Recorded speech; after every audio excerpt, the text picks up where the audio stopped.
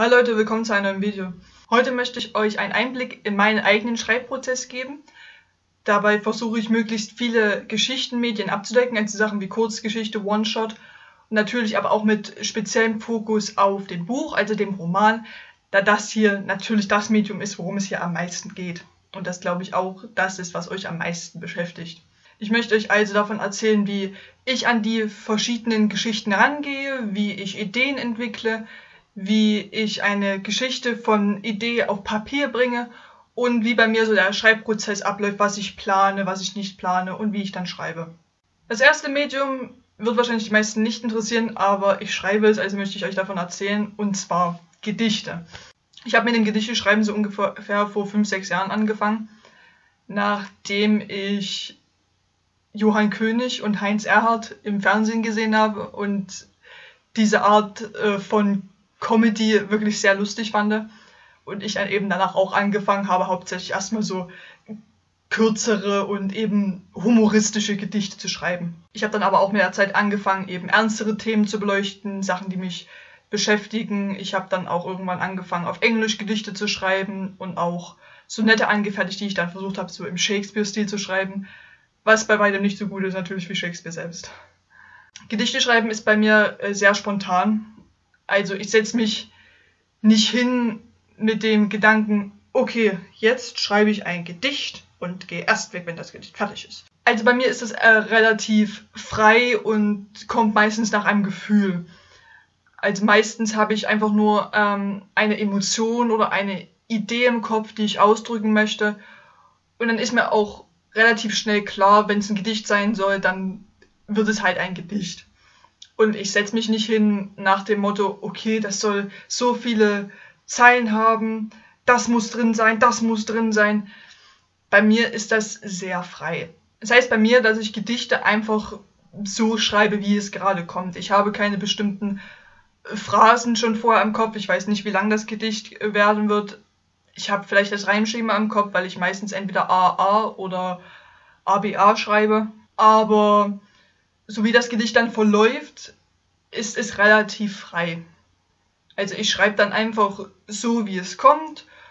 Und mit der Zeit kommen dann auch so bestimmte Ideen oder Phrasen, wo ich mir denke, oh, die würden an der Stelle ganz gut passen und dann versuche ich die einfach einzuschreiben. Also Gedichte schreiben geht bei mir relativ frei von der Hand und beschäftigt mich nicht allzu viel. Das nächste Medium wäre One-Shots, auch abgekürzt OS. Damit werden wahrscheinlich die Fanfiction-Schreiber unter euch am ehesten vertraut sein. Zur kurzen Erklärung, ein One-Shot könnte man so erklären, dass das, man könnte sagen, eine Kurzgeschichte ist, aber oftmals auch viel kürzer ist, weil der One-Shot einfach nur eine kurze Szene erzählt oder ein Gefühl. Also ein One-Shot ist im Prinzip das, was ihr aufschreibt, wenn ihr diese eine kleine Idee im Kopf habt, wenn ihr vielleicht ähm, eine Szenerie im Kopf habt oder eine Beschreibung oder einfach nur so Gesprächsfetzen und ihr schreibt das auf. Und das ist dann der One-Shot. Der ist dann meistens nur so 1000 Wörter, wenn überhaupt lang. Das heißt, es gibt One-Shots, die sind dann schon wirklich Kurzgeschichten. Es gibt aber auch One-Shots, die sind dann nur 500 Wörter lang. Bei One-Shots geht es eben eigentlich wirklich nur darum, so im Moment dieses Gefühl oder die Szenerie oder die Idee zu erfassen, die ihr im Kopf hattet. Bei One-Shots mache ich mir auch nicht sehr viele Gedanken, weil, wie gesagt, es ist so eine Szene, die im Moment entsteht. Es ist einfach nur diese kleine Idee, wo man sich denkt, oh, das wäre eigentlich cool, wenn das passieren könnte, wie würde das aussehen? Und dann schreibt ihr es auf. Ihr habt nicht direkt eine Verbindung zu einer größeren Geschichte oder ihr würdet es vielleicht gern irgendwo einbauen, aber schreibt es erstmal so auf. Also bei One-Shots stecke ich nicht sehr viel Planung rein.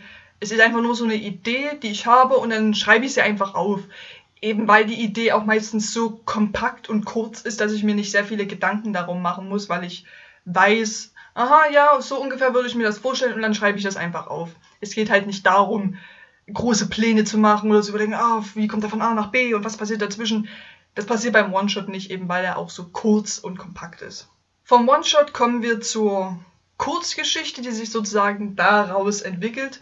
Die Kurzgeschichte ist kürzer als der Roman und als die Novelle, länger als ein Gedicht, meistens auch länger als ein One-Shot und unterscheidet sich vom Roman dadurch, dass weniger Charaktere vorkommen, nicht ganz so viele komplexe Handlungen, dass die Charaktere meistens eher unbekannt sind oder aber einen signifikanten Punkt haben, worauf die ganze Geschichte dann spielt. Die Kurzgeschichte zielt darauf, einen Gefühlspunkt oder einen Gedankenanstoß zu überliefern. Was auch der Grund ist, dass viele Kurzgeschichten auf einem Cliffhanger oder einer riesigen Überraschung oder Kehrtwende enden, eben weil man sich als Leser dann über diese Geschichte Gedanken machen soll. Die Kurzgeschichte sollte möglichst, wie der Name schon sagt, kurz sein und in einer Sitzung gelesen werden können. Da gibt es dann auch wieder Spektren. Das heißt, es gibt Kurzgeschichten, die sind fünf Seiten lang, es gibt Kurzgeschichten, die sind 50 Seiten lang. Das variiert auch teilweise sehr. Kurzgeschichten schreibe ich sehr gern hin und wieder.